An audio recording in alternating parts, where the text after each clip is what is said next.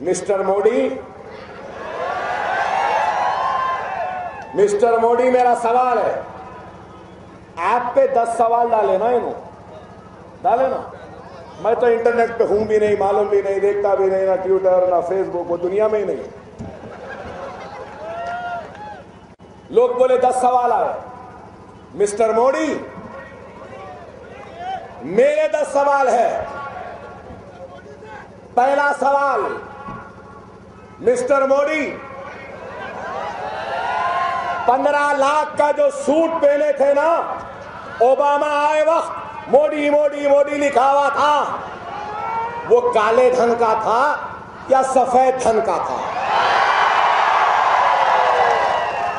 Mister Modi, तुम्हारा suit cheque payment से बना या कैश से बना? बोलो। मिस्टर मोदी, रोज़ाना जो कपड़े उतारते, पहनते, दिन में तीन तीन कपड़े, ये कैश के पेमेंट से बन रहे या चेक पेमेंट से बन रहे? मिस्टर मोदी, मेरा सवाल है, बंगाल में बीजेपी ज़मीन खरीदी, सात तारीख के दिन आठ तारीख को आपकी तकरीर हुई। वो चेक से खरीदे कैश से खरीदे? मिस्टर मोदी, आज अखबारात में कल आएगा, आज पता चला, बिहार में छह जमीनात खरीदी बीजेपी। अमित शाह खरीदवाए, आठ तारीख से पहले बीजेपी के दफातर बनाने के लिए। ये पैसे काले धन के हैं व्हाइट धन के हैं, मोदी। मिस्टर मोदी, उन जमीनात पे दफ्तर बनाने के लिए एडवांस पेमेंट दे दिए। वो काले धन का है या व्हाइट है? कैश है या चेक है? मिस्टर मोदी, आप गुजरात का इलेक्शन लड़े। चलो, मैं तुमको चैलेंज करता हूँ। हिंदुस्तान की सबसे बड़ी मंदिर में तुम आ जाना। महाभारत भगवत गीता को सर पे रख के उस मंदिर के भगवान के सर पर हाथ रख के खसम खा के बोलना कि ज़िंदगी में तुम काला धन नहीं कमाए, काला धन नहीं खरीदे।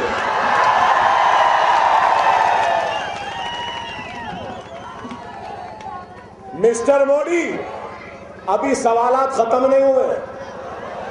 मिस्टर मोदी, आप बोल रहे हैं, इक्कीस हज़ार करोड़ रुपया आया जन धन अकाउंट में।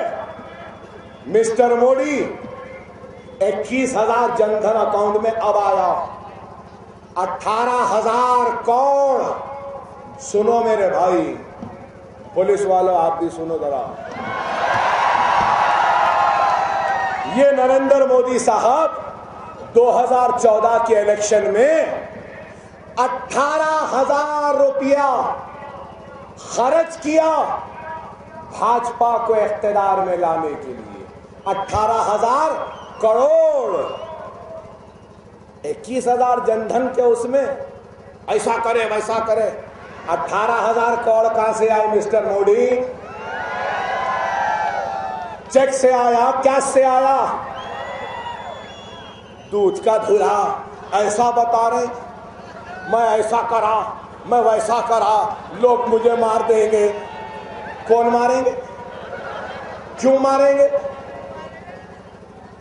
अरे तेरे इस फैसले की वजह से तेरी सियासी मौत यकीनी है मारने की ज़रूरत नहीं है।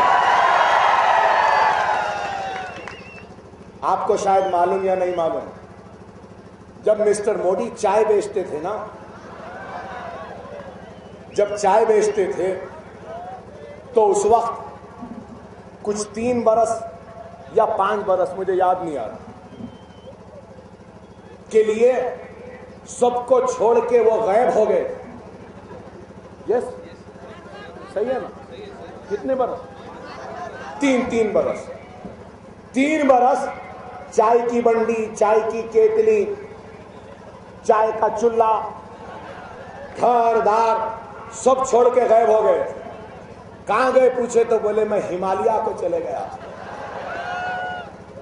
मिस्टर मोदी, सामान तैयार कर लो। फिर से हिमालय जाना अब ज़रूर जाना काला धन काला धन। चलो। आखिरी मेरा सवाल है। मिस्टर मोदी, तुम टीवी पर आकर कल बोल देना कि भारतीय जनता पार्टी का जो अकाउंट है, उस अकाउंट में हम कैश नहीं लेंगे, सिर्फ़ चेक लेंगे। तो मैं समझूँगा कि दियानतदार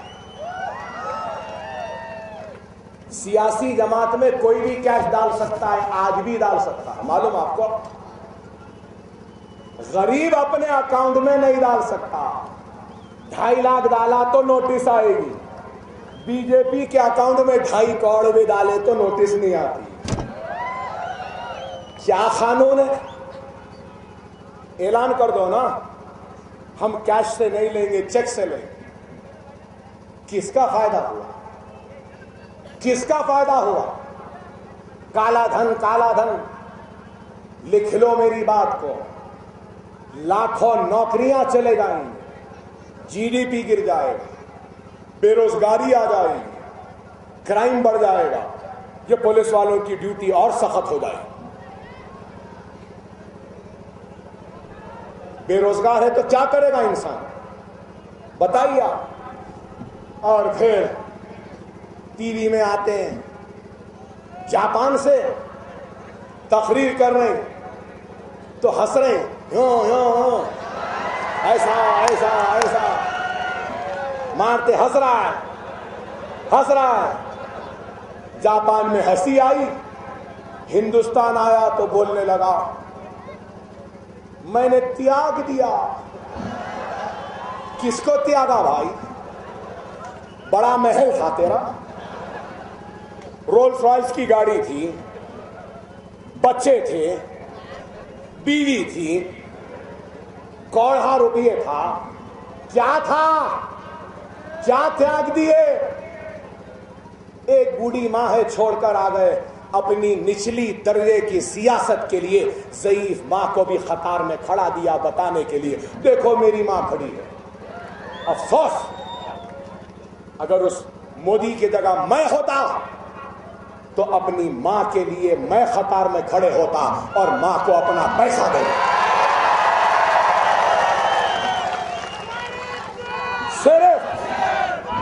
सिर्फ़ अदाकारी। सिर्फ़ अदाकारी।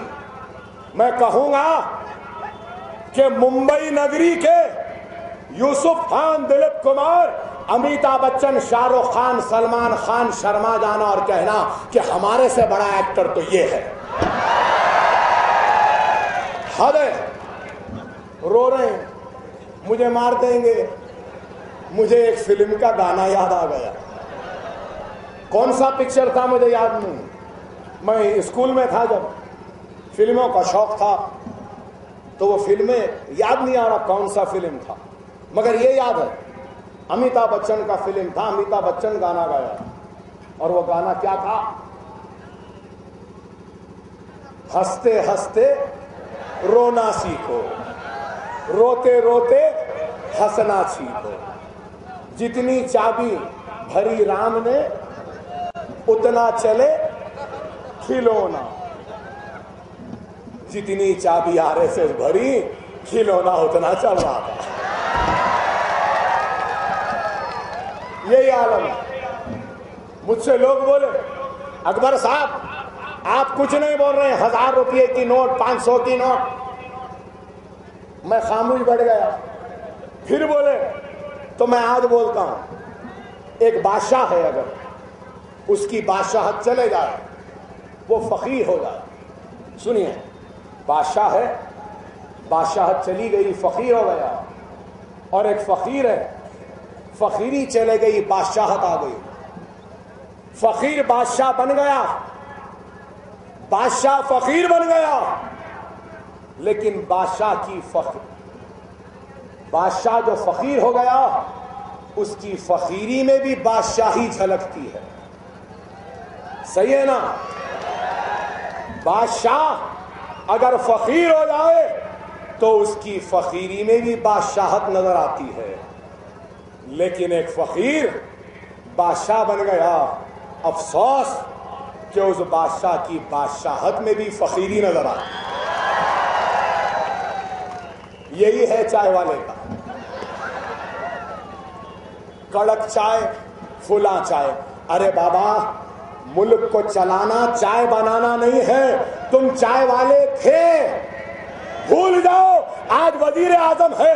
वज़ीर आज़म जैसे चलो, वज़ीर आज़म जैसे बात करो, वज़ीर आज़म जैसे दिखो।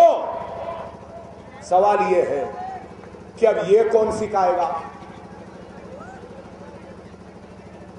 तो 800 बरस जो इस मुल्क पे हुक्मरानी करा, वो बादशाह जो शायद आज फकीर है।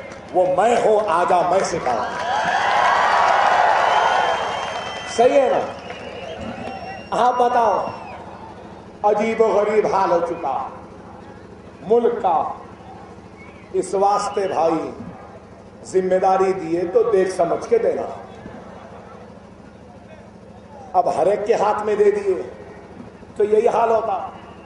लोग बोले, अकबर साहब, लोग इतने परेशान हैं और आप हँसी मज़ाक दिल लगी कर रहे हैं। अरे भाई, लोगों की परेशानी में मैं भी परेशान। मेरी परेशानी कम नहीं, मगर मगर मैं उन लोगों से कहूँगा जो लोग 2014 में इनको वोट दिए थे, खुदा के लिए आइंदा वो गलती मत करो। आपने भाई हम दिए ही नहीं ना कभी देंगे। क्या बाबरी मस्जिद को गिराने वालों को वोट दे सकते हैं? क्या गुजरात को जलाने वालों को वोट दे सकते हैं? क्या एहसान जाफरी को ज़िंदा जलाने वालों को वोट दे सकते हैं? नहीं, हम ना दिए थे, ना कभी देंगे। मगर एक बात कहूँगा, अल्लाह किसी को तबाह व बर्बाद करना चाहता है ना तो अल्लाह उससे उसकी इज़्ज़त। अच्छे दिन, वाह, क्या दिन आ गए लाइनों में खड़े हैं लोग। क्या अच्छे दिन? क्या इस अच्छे दिन के वास्ते वोट दिए थे देने वाले? अरे, आप बताइए। अरे, आज अपोजिशन में वो ताकत नहीं है इनसे पूछने की। आज बोल रहे हैं, ऐसा करेंगे, वैसा करेंगे। ढाई बरस में क्या करें? क्या करे बताइए? कुछ नहीं करे। हिंदुस्तान की तवज्जो को हटाते रहे। रोज़गार से हटाए। माशी पसमानदगी से हटाए। इनकी सारी नाकामियों से हटाए। कभी लव जिहाद की बात, कभी घर वापसी की बात, कभी बीफ बैन की बात, कभी रामजादे फुलाजादे की बात, कभी राम का खून बोले, कभी गोबरदार रहे, कभी गौ रक्षक, कभी ये। अरे हिंदुस्तान को लव जिहाद, घर वापसी गौ रक्षक की ज़रूरत नहीं है, हिंदुस्तान को दो वक्त की रोटी की ज़रूरत है। रोटी तो नहीं दिए, खतारों में खड़ा दिए। और फिर बोलते हैं